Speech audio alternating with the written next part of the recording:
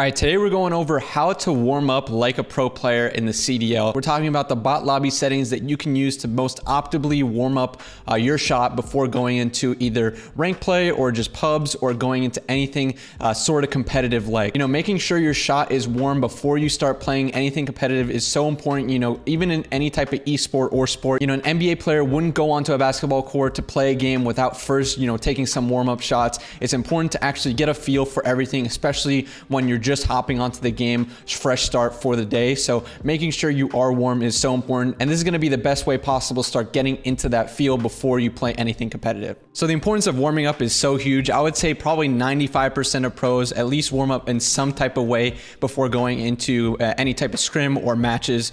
Uh, so we'll go here into the actual settings. There's only a few settings that you need to tweak, but it will help you a lot in terms of saving time and actually making sure you're getting the optimal uh, bot lobby practice. So we're obviously going to go to free for all here. We're gonna change the map. I like to use Scrapyard specifically for this game just because it's a small map, but it's not as small as something like Rust, so it's not too chaotic, but it's really easy to find enemies on this map because it's they're so small and the lanes are pretty self-explanatory. So you're really gonna get into the most gunfights possible. You know, if we put it on something like Quarry, you're just gonna be running around trying to look for gunfights sometimes, and it's not worth your time to do that when you could just keep getting your shot warm on a small map like this. So we're gonna go into game rules here. Make sure that we turn this time limit to the max possible. You used to be, I believe, unlimited, but now it's 45 minutes. Uh, for the score limit, I think you could do uh, 1,000 points. That's going to be your max. What you can do is just have the max be the set number that you want to actually shoot. Sometimes pro players just leave it at 1,000 because they don't know when the scrim is going to start, so they just keep playing uh, and warming up until then.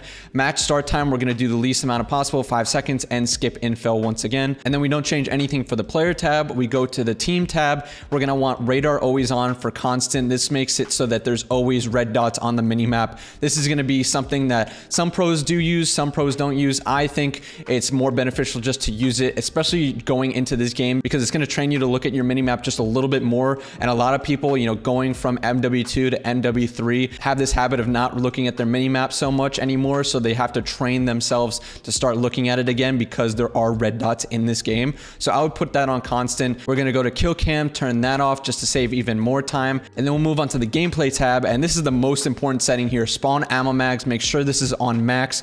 You wanna make sure that you're using your time effectively by having that ammo always at your disposal. By constantly having a larger ammo capacity, you're making sure that you're always using that weapon that you wanna use rather than running out of ammo easier and then having to, you know, die and make sure that you spawn back up and everything, you know, making sure that you have the most amount of ammo possible to keep going is a really important aspect because you don't want to be wasting your time once again. So making sure that setting is on is, is really important. And then to actually add those bots to the lobby, you can press this plus button over here. We're gonna go to max amount 13. Uh, we could just put it on recruit difficulty just because you're just trying to get your shot warm. You're not really trying to go hard on these enemies and you don't want them killing you for free. Make sure you put that on recruit and then go to confirm. Uh, it's gonna add those bots and then you're ready to start your match. So as you can see here, like there's so many enemies on this map. You're gonna be seeing tons of people that you can start shooting right away, start getting your shot warm. And this is just a really important aspect to a lot of pro players competing. You know, from experience, I know a lot of players do these type of bot lobbies pretty much before every single scrim. You know, the biggest culprit of this is Brandon. He is always in a bot lobby no matter what.